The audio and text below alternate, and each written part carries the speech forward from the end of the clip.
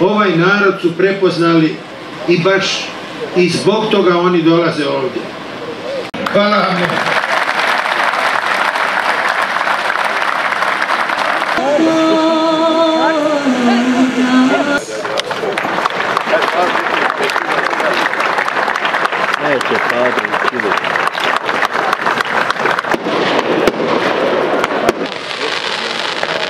Integriranog i najvećeg turističkog grada u Bosni i Hercegovini i u Europi.